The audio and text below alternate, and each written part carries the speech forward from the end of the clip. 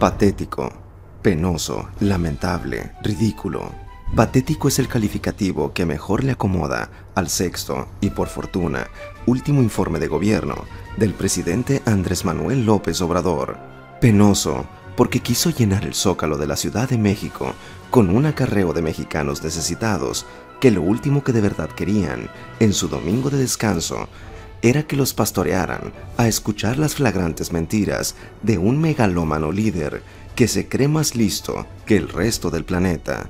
Lamentable, porque durante largas horas bajo el sol abierto se dedicó a lanzar glorias a lo que dijo eran los logros de su sexenio, mentira tras mentira, compulsivamente, que si desterró la corrupción, que si el sistema de salud que está heredando no solo es igual, sino mejor que Dinamarca, que si abatió los índices de inseguridad, que si rescató a la CFE y a Pemex, que su gobierno redujo los feminicidios, que se aplicaron los recursos con honestidad y transparencia. Patético el presidente. Estamos en el cierre del sexenio más corrupto de la historia del México moderno.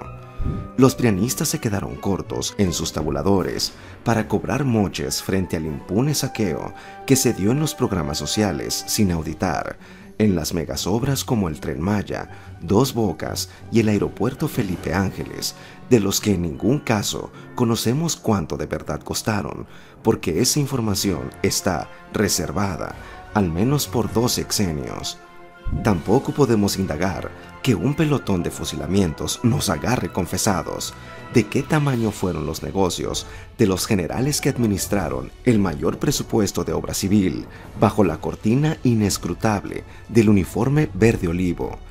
Patético el presidente.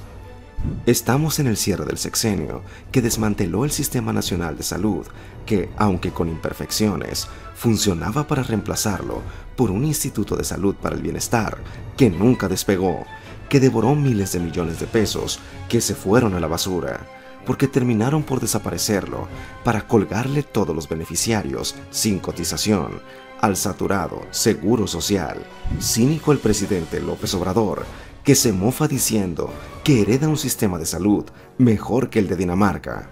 Este sistema de salud pública ya es más eficaz en el mundo. Dije que iba a ser el mejor, iba a ser como en Dinamarca. No, no es como en Dinamarca, es mejor que en Dinamarca. Lo dice porque sabe que su pueblo, bueno y sabio, el que sobrevive entre la miseria y la ignorancia, jamás conocerá Dinamarca.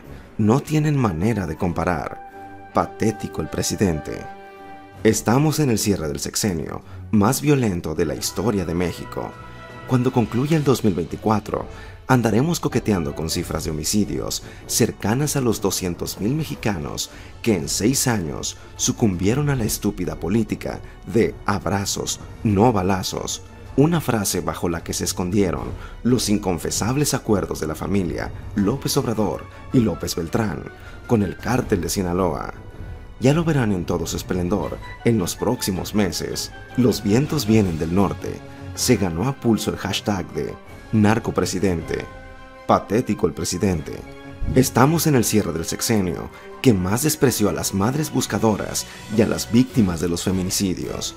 Un mandatario que desde su negada misoginia jamás le dio cara para enfrentar a esas mujeres que buscando a sus hijos o defendiéndose de la violencia de género, les exigían una justicia que jamás llegó porque siempre las marginó. Le daba urticaria reunirse con ellas. Lo mejor era decir, como en todo, que eran manipuladas por sus enemigos, los conservadores. Patético el presidente. Estamos en el cierre de un sexenio que prometió el rescate de Pemex y la CFE, pero que acabó hundiéndolas más con una pésima operación, un mal manejo de sus finanzas, deudas récord a nivel mundial, pero sobre todo, un saqueo a cielo abierto de directivos como Manuel Bartlett y Rocío Nale, cuyas familias robaron a manos llenas miles de millones de pesos, mientras los sistemas de electricidad, de producción y refinación de crudo colapsaban, al mismo tiempo que se dilapidaban 16 mil millones de dólares en una refinería que será el segundo gran elefante blanco del sexenio, solo superada por el tren Maya. Patético el presidente. Estamos en el cierre del sexenio, que se dedicó a corromper a los altos mandos de las Fuerzas Armadas para comprar con inescrutables presupuestos su lealtad a un presidente que como candidato prometió regresarlos a los cuarteles, pero que terminó vaciando esos cuarteles para darles un poder ilimitado. La Secretaría de la Defensa acabó absorbiendo la Secretaría de Obras Públicas. Los de Verde Olivo acabaron como responsables de todo, menos de la seguridad nacional. Patético el presidente. Estamos en el cierre de un sexenio que prometió la siembra récord de cientos de miles de hectáreas de granos y que hoy, al bajar su telón, solo puede mostrar cifras récord en la importancia de maíz, frijol y sorgo, los tres granos esenciales para sostener la alimentación básica del mexicano.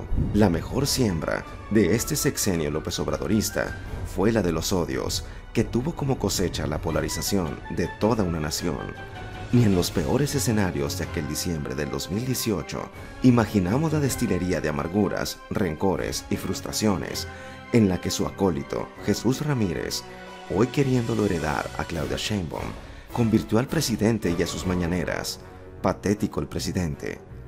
Lamentable el espectáculo de ayer en la plancha del Zócalo de la Ciudad de México, de burla, el enunciado de mentiras y de falsos logros, pero más triste aún que los mexicanos escuchemos tantas mentiras, tantas diatribas y guardemos un silencio cómplice. Dirán los cuatroteístas que allí está la popularidad del 70% que presume en su salida Andrés Manuel López Obrador. Y sí, Adolfo Hitler también fue un líder carismático y popular que acabó llevando a Alemania y al mundo entero a los horrores del holocausto. Patético el presidente, a quien todavía le quedan 30 días para más penosos, lamentables y ridículos actos de gobierno.